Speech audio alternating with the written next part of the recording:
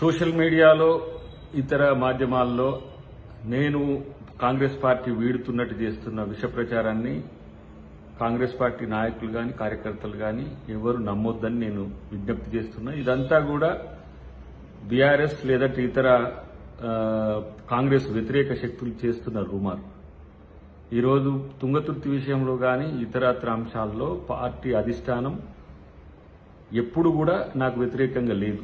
నేను పార్టీతో ఉంటా అని చెప్పుకోవడానికి ఈ వీడియో పెట్టట్లేదు. పార్టీని బదనాం చేయడానికి దాయాకర్ని ఏదో అబాస్పాలు చేయడానికి చేస్తున్న కుట్ర తప్పితే దీంట్లో మరొకటి లేదు.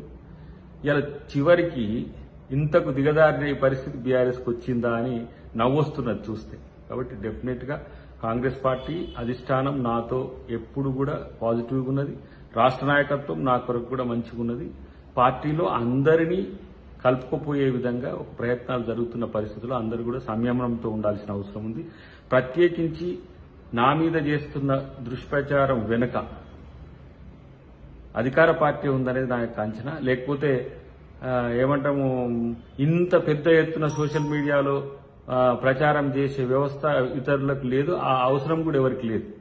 మరి ఇంకా చెప్పాలంటే వాళ్ళ ఇది ఫేక్ న్యూస్ను చేయడానికి ఎంత పెద్ద వ్యవస్థను ఎక్కడ దాదాపు రాష్ట్రాలు ఎల్లలు దాటిపోయి అది సోషల్ మీడియాని చేస్తున్నారంటేనే ఒక న- ఒక నవ్వే వస్తున్నది వాస్తవానికి. అది సాధ్యమయ్యే పని కాదని చెప్పి టీఆర్ఎస్ లాబ్లిక్ బీఆర్ఎస్ వాళ్ళకి చెప్తున్నారు. డెఫినెట్గా కాంగ్రెస్ పార్టీ నాకు అండగా ఉంది. రేపు బీఫామ్ కూడా వస్తుంది. డెఫినెట్గా తుంగతుర్తిలో నామినేషన్ వేస్తుంది థ్యాంక్ యూ వెరీ మచ్.